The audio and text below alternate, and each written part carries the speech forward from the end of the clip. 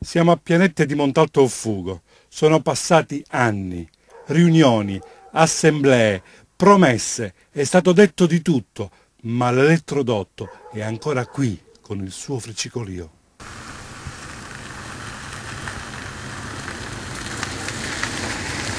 Niente, sono venuta a vedere, a guardare, ma no- non abbiamo visto nessuna cosa di bello da fare, non hanno fatto niente.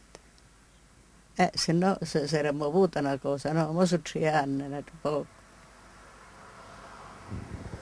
Io ho paura per i figli perché sono ammalato. Che io sono vecchia, eh. ma i figli mi dispiace perché mi danno sangue ogni otto giorni. Sulla testa della gente, sulle case, un incubo per chi ci abita sotto.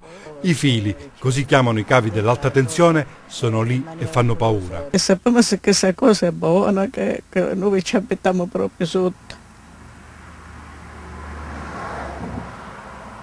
Questo, eh, volessimo che il governo un poco dice che eh, sapesse de, de muovere, sapesse de- come si muove.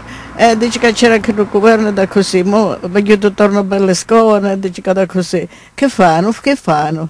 Ancora una volta una denuncia, ancora una volta le esigenze della gente rimangono inascoltate e la politica è ferma alle parole. La politica ci ha abbandonato, i cittadini gli abitanti di Pianette e di Lucchetta.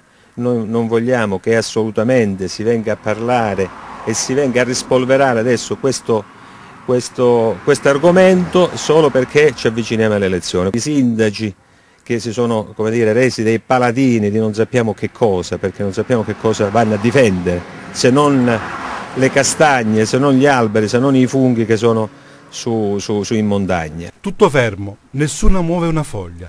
I comuni litigano tra loro per il nuovo percorso e la situazione è questa qui. Da mamma e papà, mamma e papà sono campati abbastanza, capace mi ha campato 105 anni e aveva residenza come giovane. Io sono rimasta sola, con i figli malati, prima sono morta e dove